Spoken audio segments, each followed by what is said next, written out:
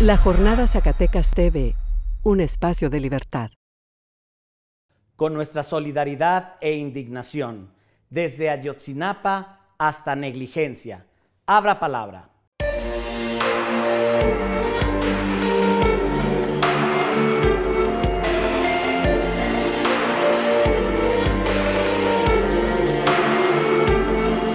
Soy Simitio Quesada, auxiliado por el valioso equipo de la Jornada Zacatecas TV.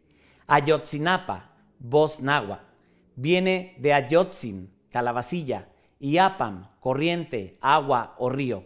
Es el río de las calabacillas, lugar donde se asienta la Escuela Normal Rural, cuyos 43 estudiantes son declarados desaparecidos. Desaparecido, desaparecer, viene del prefijo negativo des, no, y aparecer ad, partícula latina que significa hacia, y parere, que significa presentarse o comparecer. En un alarmante hecho que tiene toda la interpretación de impunidad.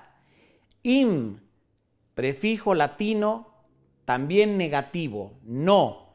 Punire, castigar.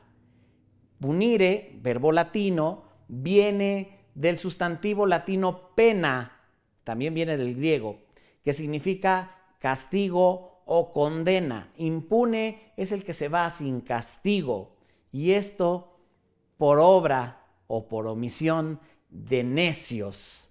Necio tiene otra partícula negativa, ne, no, neshire, necius, el que no sabe. Shire es saber, neshire, ignorar.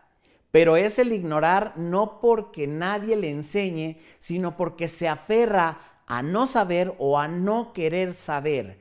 Ese es el necio, el negligente, negligente, negligencia, ne leyere. Otra vez la partícula negativa, ne, en una serie de catástrofes, ne leyere, no leer en una primera instancia.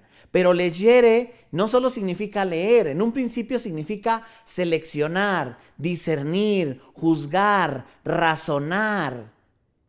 Ne leyere, el que no razona, el que no participa, el que no se involucra, el negligente, que está en el extremo contrario al que sí trabaja, al que sí es parte de la solución, el diligente. Así, desde Ayotzinapa, con sus desaparecidos, con la impunidad, con la necedad y la negligencia, terminamos este Abra Palabra 23. Les recuerdo que la versión radiofónica de este se encuentra cada viernes en el 97.9 de FM Radio Zacatecas en el programa cultural Parnaso y cada martes una nueva entrega en el canal YouTube de la Jornada Zacatecas TV. Ayotzinapa, desaparecidos, un Estado de Derecho que tiene que actuar. Nos solidarizamos con ellos.